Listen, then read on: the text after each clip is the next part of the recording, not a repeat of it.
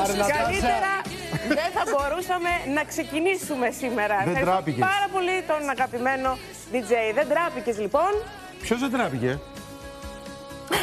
Ε, τώρα σκέφτομαι πολλούς εγώ για να βοηθήσω την Ναι. Τι κατάσταση. έχει, γιατί έφυγες, έλα εδώ παιδάκι. Ε, γενικά αυτό το τραγούδι μπορεί να Κλαις. αφιερωθεί με Όλα πάρα καλά. πολλούς τρόπους. Παιδιά, ποιο πήραξε τη Μαριάντα.